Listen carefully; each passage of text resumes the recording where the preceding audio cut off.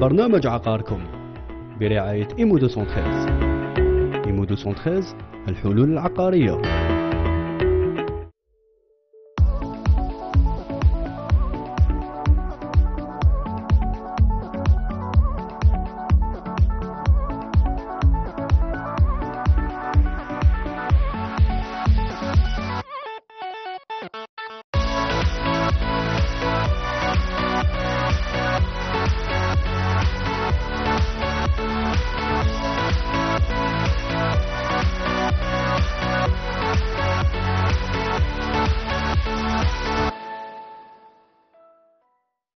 السلام عليكم ومرحبا بكم في حصتكم حصة عقاركم.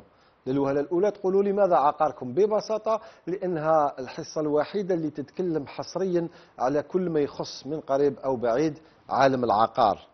نطلع عليكم كل أسبوع باش نناقشوا ونعالجوا بعضنا موضوع مشكل إشكالية أو نقطة تخص من قريب أو من بعيد عالم العقارات. وتخصنا وتهمنا كلنا من الملكية إلى الدفتر العقاري الميراث مواد البناء الإيجار والتملك القروض البنكية والتأمينات أو غيرها من قضايا نعالجها كل أسبوع.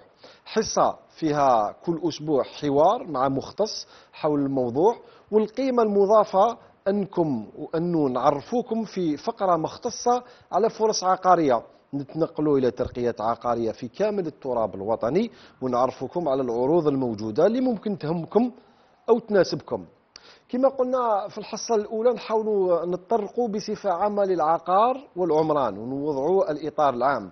يكون معنا بعد قليل مصطفى معزوز رئيس هيئة المهندسين المعماريين لولاية الجزائر العاصمة. نتكلموا على البيئة المعيشية le cadre de vie وجودة الحياة la qualité de vie لكن من قبل نروح نشوفوا هذيك الفقرة اللي وعدناكم بها وسميناها في جواركم. لأن لأنه كلنا في جوارنا كاين بناية جديدة أو ترقية عقارية. نخليكم مع ترقيتين عقاريتين ونرجع مباشرة بعد هذه الفقرة للحوار.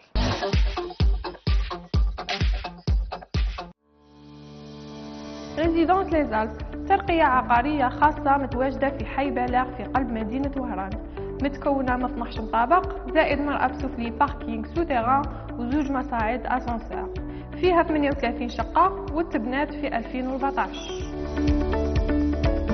الترقية فيها 38 شقة من F 4 F 5 ودوبلاكس تتراوح مساحتهم من 135 إلى 160 متر مربع.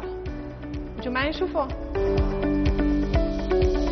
الشقق كلها تتكون من غرف زائد مطبخ عصري cuisine américaine و salle de bain مجهز من أرقى المعدات.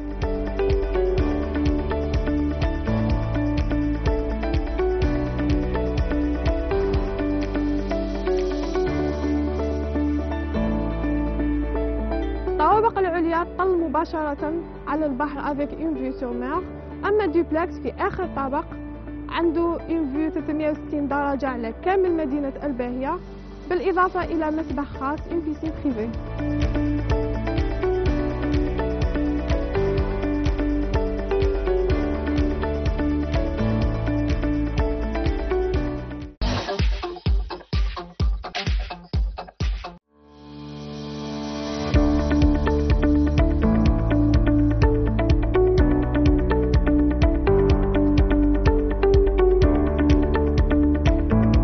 Résidence Le Belvédère إقامة متواجدة بحي دار دياب شراقة العاصمة تتكون من F 3 F 4 و F 5 وتتسلم نهائيا هاد السنة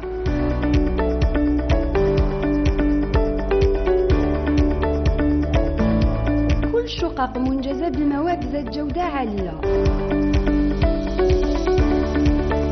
مساحتها واسعة تمنح كل الراحة والرفاهية. كل تجهيزات في الشقق عصرية.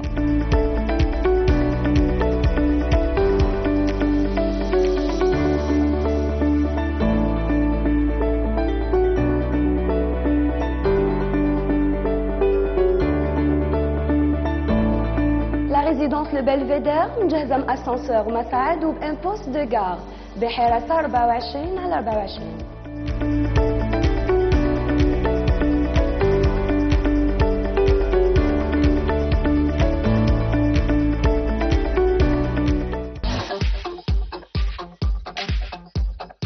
كما قلنا مقبلات في الحصة الأولى نحاولوا نطرقوا بصفة عامة للعقار والعمران نوضعوا الإطار العام. نرحبوا في العدد الأول بمصطفى معزوز رئيس هيئة المهندسين المعماريين لولاية الجزائر. إن شاء الله تكون علينا فالخير سي معزوز. إن شاء الله بإذن الله سي نجيب ومرحبا بكم وإن شاء الله بكل متتبعي الحصة الكريمة والقناة الكريمة نتاعكم إن شاء الله. مرحبا بك كضيف كريم في انطلاق هذا البرنامج حصة عقاركم. كان ربما من الوهلة الأولى لازم نبادروا بوضع الإطار العام والعلاقة الوثيقة ما بين العقار والعمران ونطرقوا خاصة للمخطط التوجيهي للتهيئة والعمران ce qu'on appelle le PDAU le plan directeur d'aménagement et d'urbanisme كان المفروض أنه يعبد الطريق لتهيئة عمرانية متناسقة ومتجانسة لكن ربما الواقع يبين حاجة واحدة أخرى كامل. والله ما نقدرش نوافقك الرأي بالمئة بالمئة أخ نجيب لأنه ال- البدو أو ما يسمى مخطط التوجيه الأمراني والعقاري هو إطار ونموذج للتعايش الحضاري في إطار مدينة معينة أو بلدية معينة. بين بين كل المتعاملين من المستعملين المستعملين المدينة من المواطن البسيط إلى الإداريين إلى المهندسين إلى كل من له صلة بالواقع الحضاري للمدينة. لهذا فالبدو إذا كان إن وجد إن وجد لأنه في الوقت الحالي البدو تاع ولاية الجزائر لم يصادق عليه إلى يومنا هذا أنه البدو الحالي لولاية الجزائر كان كان قد قدم لمختلف البلديات المصادقة ورد وكانت هناك استجابة من طرفهم. بإذن الله إن شاء الله هن- وراه الخلل ملا آه، السي معزوز. مادام آه، الم- المشروع صدق عليه من طرف السلطات العمومية مادام البلديات آه، أعطت آه، الإجابة الإيجابية وراه الخلل. لا ال- البلديات آه، كان هناك رد من البلديات فيما يخص مخطط التوجيه. أما هل صودق عليه وأصبح حيز التنفيذ في الوقت الحالي؟ لا. لم يكن ليس في الوقت الحالي حيز التنفيذ. نحن نعمل أن يكون حيز التنفيذ ما بمشاركة كل المتعاملين من هيئات عمومية وكل من له دخل في إطار ال- ال- العمران والعمران ولا ولا المعمار من حيث الآخر ما- يخفاش عليك أنه المدينة كمدينة الجزائر اللي هي عاصمة اللي تحتوي على أكثر من 3 ملايين نسمة. حتى تكون يمكنك أن تقنن وت وتعمل إطار للتعايش السلمي بين كل أف- فعاليات المجتمع. هناك آليات تقنية وآليات بيداغوجية يجب أن توضع حيز التنفيذ. آه، منها المعمار كعمران كأمر قائم بذاته. هناك كذلك العقار وهناك كذلك الأراضي الفلاحية والأراضي الصناعية والأراضي التي تبنى وبنيت فوقها هذه العقار. يعني le foncier agricole le foncier industriel. et le foncier immobilier. وفي هذا الإطار لازم مسح لكل هذه الأراضي وإحصائها آه، باش نقدروا نروحوا للبدو. déjà ça a été fait هذا الأمر كان كان مكتب دراسات قد قام بهذا العمل. وفي إطار التصور اللي كانت للسلطات العمومية على مدينة الجزائر كمدينة عالمية. هناك مخطط استراتيجي. لا لا لا شوف والله l'ambition nourrit son c'est avec ça qu'on avance بهذا الأمر اللي نقدروا نتقدموا إلى الامام لازم نخزروا اللي راه فاتونا ماشي شوف اللي فاتنا بصح ربما الأهداف لازم تكون متواضعة وفي متناولنا. يعني ما نقدروش ربما نمروا من مدينة فيها مشاكل متشعبة المواصلات آه، النظافة إلى آخره. ونطمحوا نولوا عاصمة يعني ربما عالمية قدوة في البحر الأبيض المتوسط. والله هذا أمر في متناول اليد. أقولها وأعيدها في متناول اليد. يكفي أن تكون هناك النية الصادقة الكفاءة المهنية وكذلك الحضور المتواصل لكل السلطات من ميدان سلطات أنا نحكي عن ال- هي- كهيئات رسمية وغير رسمية يعني في السلطات الميدان. العليا والسلطات المحلية والله السلطات كل المحلية. المتدخلين في كل المتدخلين على سبيل المثال لا حصر. هيئة المهندسين المعماريين. مثلا. مثلا. هي هيئة استشارية ذات سيادية ذات منفعة عامة. مم. دورها أنها تحافظ على المعمار والتراث الثقافي والتراث المعماري للجزائر. فيما يخص إلى فيما يخص نحن آه، هيئة المجلس المحلي بيت تأخذ الجزائر المثال اللي تعرفوا الأكثر مجلس محلي مادام أنك في ولاية الجزائر مجلس عاصمة. محلي لولاية الجزائر. دورنا أن نحافظ على ما يسمى بالتراث المعماري والثقافي وإلى ما ذلك.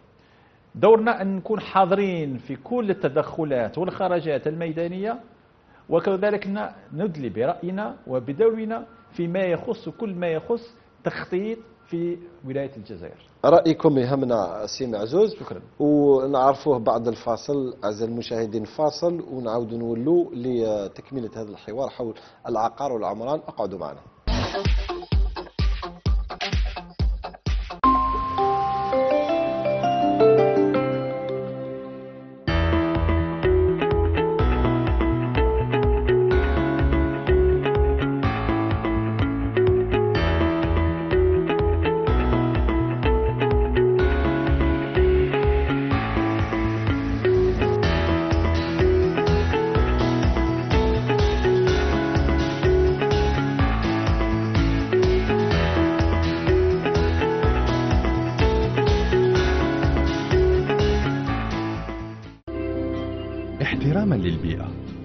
للقضاء على التبذير وربحا للوقت. أنشأنا سي بي إس.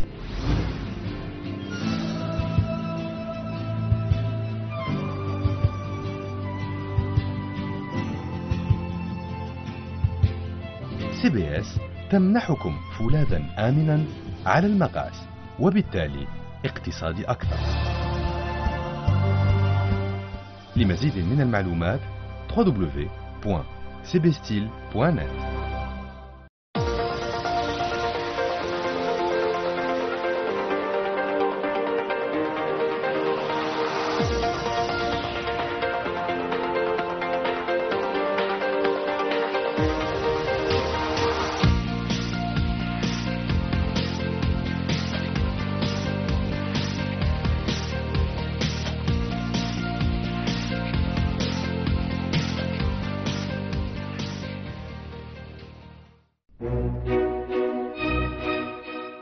هذا شحال وأنا نستنى فيك.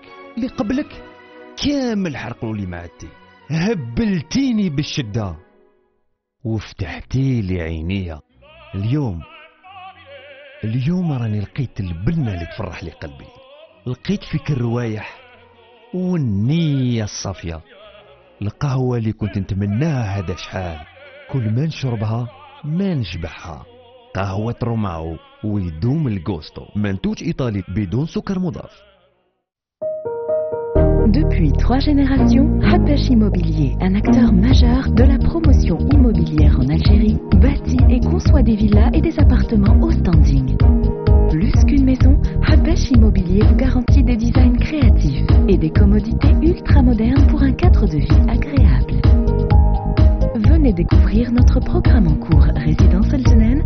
Hamdine sur www.habdachimo.com.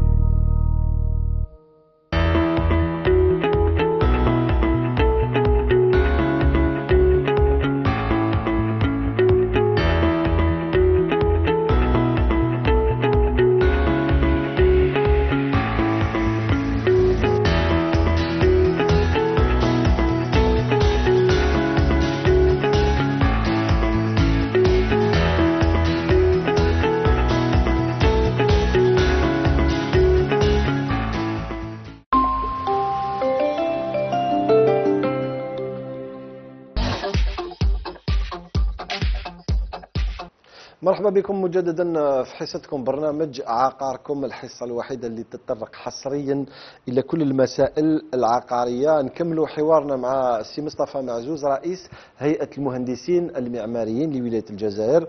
آه، قبل الفاصل كنا تحدثنا بصفة عامة. هدرنا على لوبدو هدرنا على العقار في مدينة مثل الجزائر اللي آه، يقولوا أنها فيها 3 ملايين نسمة ولكن le Grand Alger فيه أكثر من 3 ملايين نسمة. justement آه، آه، سؤال يتبادر للذهن. معايير اختيار السكن في مدينة مثل مدينة الجزائر لكن نقدروا ناخذوا أمثلة واحدة أخرى مدينة وهران أو من المدن الداخلية. من المعروف أنه المعيار الأساسي لدى العائلات الجزائرية أو حتى المواطن بشكل عام هو الغلاف المالي لاختيار المسكن. لكن هناك معايير واحدة أخرى هناك معايير أساسية قرب مكان العمل قرب روضة الأطفال أو المدرسة المرافق العمومية السوق الجواري البلدي وإلى آخره. من آه، معايير لازم الواحد يدخلها آه، كيحوس على سكن. آه، لماذا هذا يعني آه، الاختلاف أو التركيز على المعيار الأساسي اللي هو الغلاف المالي. شوف اخ نجيب نرجعوا شوية لل- للوراء. حتى نوضع الصورة العامة لما حصل في ال- في التقدم والتطور السريع لمدينة الجزائر. لقد كان هناك انفتاح اقتصادي. واجبر السلطات على أنه العقار سوق العقار وسلطة المعمار ينفتح كذلك على المراقين العقاريين العموميين والخواص. المراقين العموميين نقصد بذلك الدواوين العقارية والمراقين الخواص معروف على كل حال الصفة والهيئه اللي ينشطوا في إطارها. ولكن في هذا الإطار هذا التلاحم وهذا التكامل اللي كان ما بين المراقين العقاريين العموميين والخواص كان لازم يطلع له إطار. هذا الإطار آه، سبقوا سبقته آه، احتياجات خاصة وهي أزمة السكن. كان لازم آه، نوقفوا على إطار حل معضلة وهي معضلة السكن. ولكن حل معضلة السكن بخلاف ما يدور بحولها من مجمعات سكنية وإطارات ومجمعات وكذلك ce qu'on appelle les équipements publics هذا أمر آه، كان بعيد المنال. في إطار نقص العقار نقص ce qu'on appelle les enveloppes les les les terrains fonciers لهذا كان لازم توضع أطر لل- للعودة إلى الاحتواءات العقارية. والعمل على تكوين مخطط متكامل حتى يمكن ضخ البرامج السكنية بالآلاف على كل حال لأن مثلا في الجزائر العاصمة أنا في أكثر من 80 ألف سكن 88 ألف سكن في المخطط ال- اللي فات الخماسي. الخماسي اللي فات. ورايحين كذلك حتى باش تكون رايحة السلطات العمومية باش تتوفر وتستجيب للطلبات المتكررة حتى يكون هو التوازن بين العرض والطلب ال- في الإطار هذه نعود ونقول ما يكفيش أننا نوضع مجمعات سكنية. ما يكفيش أن نربط هذه المجمعات السكنية. ما يكفيش. يعني مدة آه، ربما 30 سنة الجزائر بدأت آه، بنات يعني كما قلت أنت آه، تجمعات سكانية وين انعدمت فيها المرافق. بعد ما ورثنا عن الحقبة الاستعمارية ال downtown les centres-villes بنينا في في الضواحي. في الضواحي يعني في les banlieues مثلا باب زوار مثلا أحياء أخرى وين انعدمت فيها المرافق. ولكن الآن لو نرجع ذكر في الوقت الحالي سترى بأن باب الزوار رابيا رابيا cité رابيا وكل ما يرافق ذلك قد أخذت صديق عندها هناك آه، قيمة آه، مالية وقيمة حضارية كبيرة لأن المرافق قد كونت. مرافق المعي- المعيشية والحياتية. معيشية دوك ال- أحسن حي في الوقت الحالي في الجزائر العاصمة هي حي رابيا. ربما ما نوافقكش في هذا. آه، التقسيم آه، وعملت مليح لأنه نلحقوا التقسيمات العمرانية. يعني آه، بصورة أوضح في جميع مدن العالم. كاين تقسيمات كاين في كل مدينة كاين أحياء شعبية كاين أحياء راقية. في الجزائر هذا التقسيم ربما غير واضح أو غير غا أو غامض شوية لأنه النسيج الاجتماعي من الداخل. يعني مثلا بين قوسين أو بين هلالين نشوفوا مثلا حي راقي نعطوا مثال مثلا حضره فيها آه، جهة حقيقه يعني ستان كارتي شيك وفيها أحياء شعبية. والعكس صحيح في الأحياء التي تسمى بين قوسين كذلك آه، أحياء شعبية. يعني كاين هناك تداخل يجعل من الصعب أنك تقسم عمرانيا مدينة. لا لا شوف أبتسم على ذكر حضرة لأنك لأن الرقي لا ي... لا قلت بين بين قوسين لأن الرقي لا يقاس بال... باسم المكان إنما الرقي يقاس ب آه، بالمتطلبات المعيشية الحضارية المتوفرة. ال- الرقي ولا اختيار المسكن يعود إلى الولوج إلى الطرق السريعة. سرعة الولوج إلى الطرق السريعة. سرعة الدخول والخروج إلى مسكنه. إذا إذا أخذنا بعين الاعتبار الشركة مثلا آه، المتعامل والمستعمل آه، ل- آه، للمساكن هناك يجد صعوبة في الدخول والخروج تقارب الساعتين.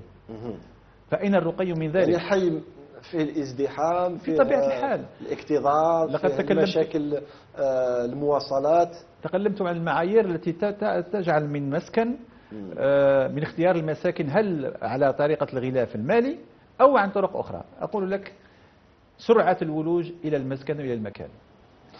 يعني باش نبسطوها سي معزوز مثلا أنك تروح تكري في شراقة وتقول يعني آه، ربما الكرية غالية. ممكن أنك تروح تكري في حي واحد آخر وتربح راحتك أكثر. بطبيعة الحال ونعطيك لأن ربما مكان العمل أقرب ومكان آه، مدرسة الأطفال أقرب. يعني أنه الغلاف المالي ماشي هو الأهم. لا لا ماشي هو الأهم. نعطيك وش رب... وش هما المعايير؟ الم-. اختصاصي لا، شوف- أعطيني هكذا ربما سلم تاع معايير تبان لك مهمة. مثلا أنا حبيت نكري وطلبت من هيئة المهندسين المعماريين تنصحني. واش ناخذ بعين الاعتبار؟ هيئة المهندسين المعماريين ما تقدرش تنصح لأن المهام نتاعها والصلاحيات تاعها مقننة. وهي المحافظة على ال- العمران وكذلك على استعمال وممارسة مهنة المهندس المعماري. ولكن أقول بأنه آه، إذا كان نعطي مثال بسيط ومبسط. نقول مثلا في الجزائر العاصمة. منذ عشر سنوات كانت الناس تخرج من الجزائر العاصمة وتهرب إلى الضواحي شرقاء إلى ما ذلك بحسن درارية وكذلك. الناس درك في الوقت الحالي راهي تعود الجزائر العاصمة. لماذا؟ لأن هناك في الجزائر العاصمة مرافق الحياة. مرافق الحياة. هناك في الجزائر العاصمة في الوقت الحالي هناك المترو هناك التراموي هناك المرافق السريعة اللي تسمح لك بالولوج إلى كل ساحل الجزائر بسرعة فائقة. هذه الأمور سمحت بالناس أنها تكون معايير أولية وأولوية للحصول على مسكن. وبذكر السرعة يعني السرعة فائقة للحوار. بقى لنا بعض آه، الوقت فقط. ربما آخر آه، سؤال آه، جاوب في 30 ثانية. العلاقة ما بين البيئة المعيشية لو كادر دو في وجودة الحياة la qualité de vie والله يا أخ نجيب أشكرك شكرا جزيلا. لأنك سمحت لي باش نتكلم على ميثاق التعايش السلمي والحضاري اللي نادي به هيئة المهندسين المعماريين لولاية الجزائر. لقد نادينا بهناك بأن نضع لقد عملنا مجهودات وكذلك استطلاعات مكثنا من آه، إطار وضع إطار وهو ميثاق التعايش الحضاري وهو إطار مقنن يعود إلى الأطر والرموز الحضارية البيئية لتسمح بالتعايش السلمي حتى ننمو بالبلاد وننمو بالحضاره تاعنا إلى ما هو خير البلاد والعباد. ما جاوبتنيش على la relation le cadre de vie la qualité de vie le cadre de- جودة الحياة. والبيئة المعيشية جودة لأنه البيئة المعيشية هي اللي تسمح البيئة المعيشية هي نتاج بسيط و direct من الإطار المعيشي. الإطار المعيشي إذا كنت في حي.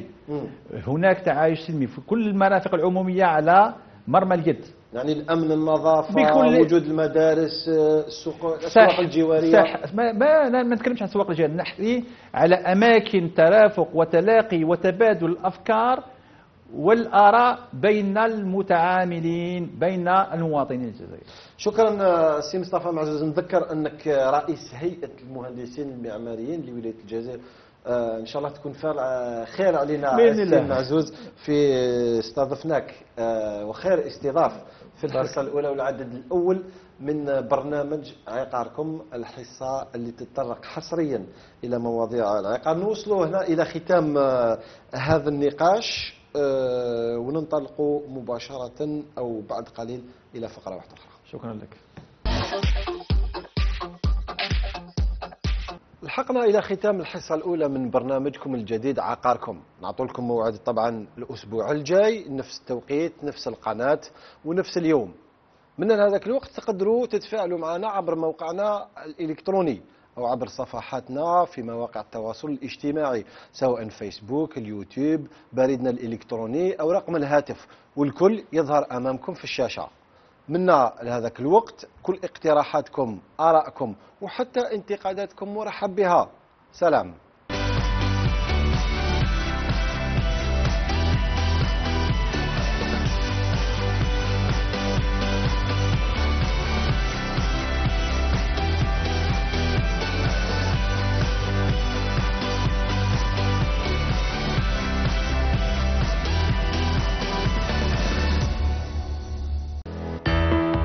برنامج عقاركم برعاية إيمو 213 إيمو 213 الحلول العقارية.